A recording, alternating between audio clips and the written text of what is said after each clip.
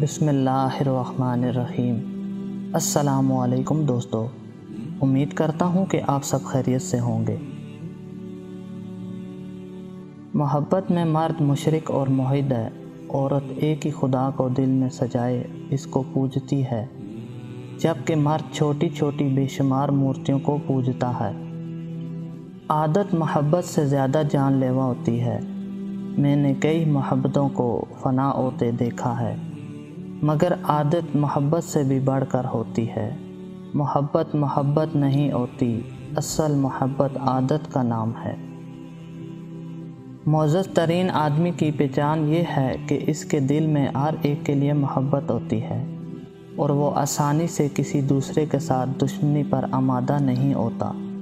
वो चांदनी की प्याली की तरह होता है। अगर इसे मोड़ना चाहें तो आसानी से मुड़ जाता है। और अगर आप इसे तोड़ना चाहें तो वो आसानी से नहीं टूटेगा। पाकिज़ा तरीन मोहब्बत यह है कि तुम किसी से मोहब्बत करो। ये जानते हुए कि वो तुम्हारा नहीं हो सकता और उसे खुश देखने की तमन्ना करो। असली हक का तस्वर अब इंसान के पास नहीं रहा। कुछ मांगना है तो असली हक मांगो। जब मोहब्बत मिलेगी तो सब हक खुशी से अदा होंगे।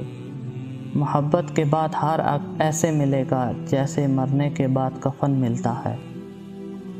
कभी कभी ऐसा होता है कि ज़िंदगी आपको हर वो चीज़ लौटा रही होती है, जो कभी आपसे छीन गई थी।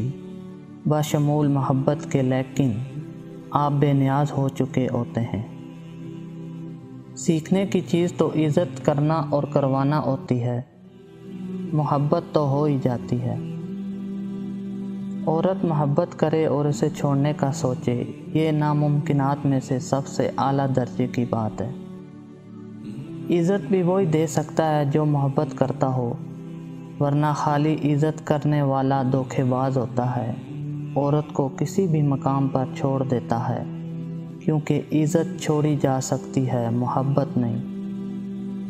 मोहब्बत वफ़ादार की दास्तान होती है और बेवफा का एक मामूली सा वाक़ मोहब्बत अपनी मर्ज़ी से खुले पिंजरे में तोते की तरह बैठने की सलाहियत है। मोहब्बत इस ग़ुलामी का तोक है जो इंसान ख़ुद अपने इख्तियार से गले में डालता है। हर मर्द के अंदर यह आरज़ू होती है कि वो औरत को इसकी पटड़ी से उतारे और अपने रास्ते पर लेकर चले।